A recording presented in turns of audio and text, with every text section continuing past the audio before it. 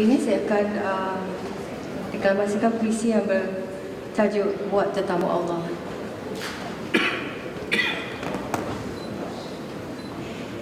Di rumahmu, Ya Allah, kami bertakar, bersujud, bertahajud.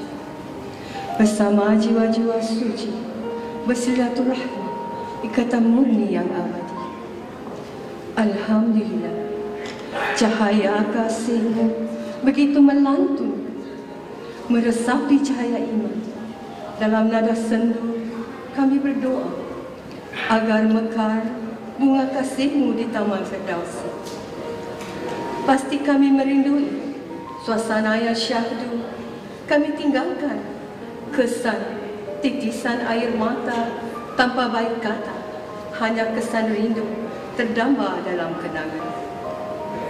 Di rumahmu, sempat kami berteduh di bawah panji kebesaranmu. Undangilah kami lagi untuk bertawasai di bawah pancuran rahmatmu. Ya ilahi. Terima kasih.